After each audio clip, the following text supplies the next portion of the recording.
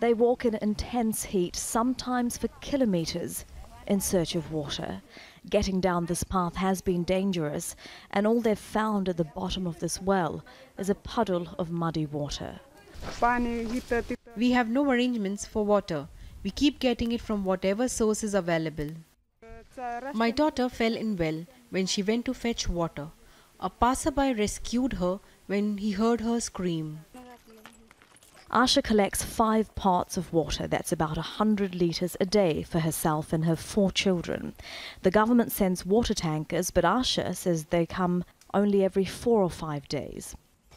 Elsewhere in Beed, farmers have left their land and moved to nearby relief camps, where the government provides fodder and water to keep their cattle alive. There is no water left in the Beed area. It used to rain by the 7th of June, but there are still no signs of rains. Last year we had a drought situation. This year is worse. If it doesn't rain again this year, we have to leave our village.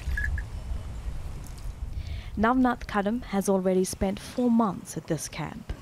This is the worst drought in Maharashtra in 47 years, and that's as the country suffers its lowest rainfall before a monsoon season in more than six decades. And that lack of rain, along with the rising demand for water, mismanaged resources, and climate change, are being blamed for this drought. Environmentalist Vandana Shiva has been warning about India's water crisis for decades. The water famine we are facing is a result both of about 30, 40 years of ill advice by financial institutions.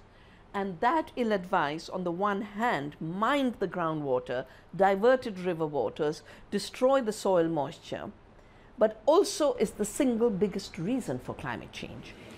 Prime Minister Narendra Modi has held a meeting on the water crisis and promised to pipe drinking water to every household by 2024. But for those who don't know how they'll survive if the monsoon rains don't come, that is a very long way off. Elizabeth Puranam, Beed, Maharashtra,